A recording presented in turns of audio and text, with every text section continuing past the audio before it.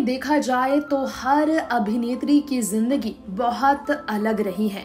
आज हम आपको हमारी इस रिपोर्ट में बताने जा रहे हैं तबू के बारे में।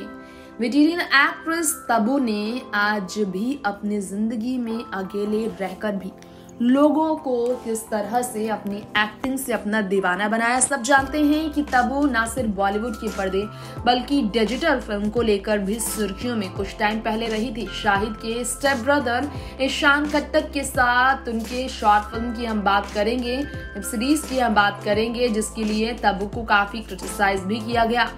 तेलुगु, तमिल, मलयालम, बंगाली से लेकर मराठी फ़िल्मों के अलावा हिंदी सिनेमा में प्रोमिनेंट एक्ट्रेस के तौर पर पहचान बनाने वाले तबस्सुम फतीमा हाशमी की बात कर रहे हैं हम। जिन्हें वैसे तो तबू ही कहा जाता है। पचास साल की तबू आज भी अपनी ज़िंदगी में कुंवारी है।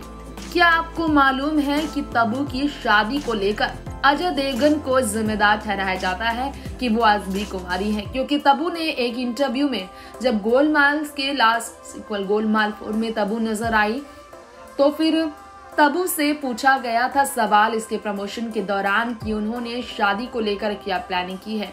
तो फिर अजय देवगन ने वहाँ पर एम्बेरस होकर तबू की बात मानी। दरअसल, तबू और अजय काफ़ी पुराने अच्छे दोस्त रहे हैं। इसलिए तबू को ही जिम्मेदार मानती है पूरी तरह से उनकी शादी की जो टूटने वाली हर एक डिसीज़न थी। तबू का कहना है कि अजय देवगन ने कभी भी उनकी शादी नहीं होने दी क्योंकि अजय उनके लिए परफेक्ट मिस्टर परफेक्ट ढूँढने वाले थे जो आज तक काम पूरा नहीं कर पाए हैं तबू अजय की अफेयर को लेकर काफ़ी चर्चा रही लेकिन आपको बता दें कि तबू ने स्टेटमेंट में कहा था Ajay and I have known for each other for 25 years. He was my cousin Samir Aryar's neighbor and close buddy, a part of my growing up years, and that has laid the foundation of our relationship.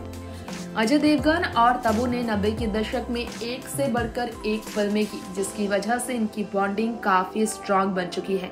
लेकिन यह भी सच है कि तबू का नाम बीते कुछ साल पहले साउथ की सुपरस्टार नागार्जुना के साथ काफ़ी जुड़ा था। इसके अलावा संजय कपूर के साथ भी तबू का नाम जुड़ा।